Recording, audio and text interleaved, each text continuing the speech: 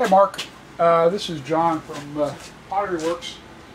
Uh, I'm just going to give you a comment on your uh, video for your clock. That was great. Uh, in fact, it gave me a few ideas and I wanted to share them with you. Uh, I've thrown your cylinder just the way you throw it. The only thing really I do different is I leave it wet. Now this is done on a plastic bat what I'll do is cut it from the back a little more water on the bottom. And I move it wet. It seems to get a little better. Now you can do this with two pieces of plywood or two pieces of wood and flatten it out evenly but I like doing it this way. Yeah.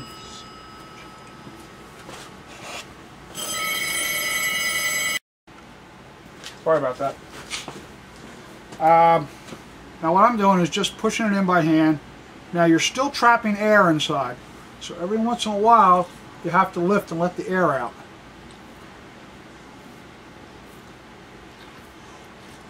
You feel it blowing up like a balloon, just push.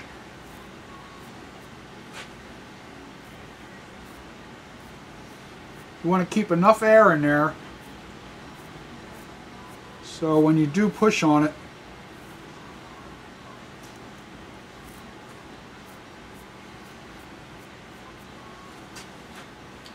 now what I do is I'll take a, uh, a rubber rib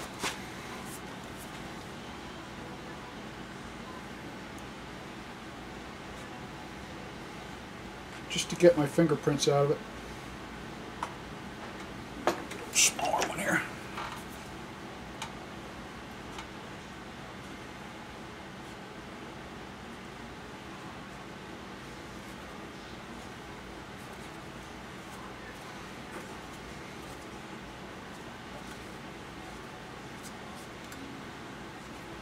I still have some of that iron oxide slip left on the bottom underneath this thing.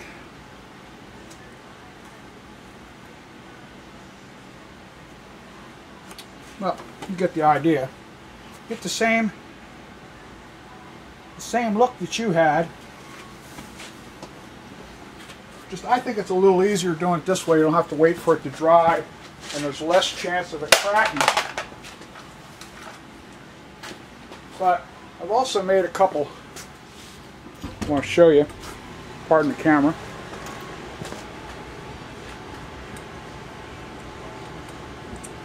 Alright, this one here is uh, woodland. Got some dragonflies and some bugs and leaves. I've used white slip for your numbers. Uh, what I did is I made some pieces of rolled out I put a wood grain on them so they have vines on it. That's clock number one. And clock number two, I stayed with your swirly design. Except I put the swirl on the top, the swirl on the feet, the swirls on the, just the four numbers. As you can see, they're also painted. I sprayed on the slip just like you did. Now the only thing I'm going to do different is is this. What I do is I cover it with a white glaze. Now this is cone 6. It's the same clay, same uh, iron oxide slip on the outside as you can see it under here.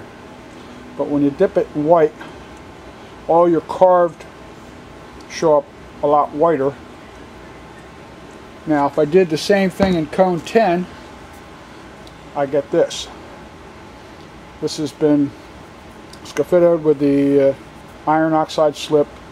I carved it out, dipped it in white glaze. You can see the color of the glaze inside. And then when it's fired to cone 10, of course, it goes black. Uh, again, thanks for uh, thanks for the thing with the clock. That was a great idea. Like I said, I'm making another one.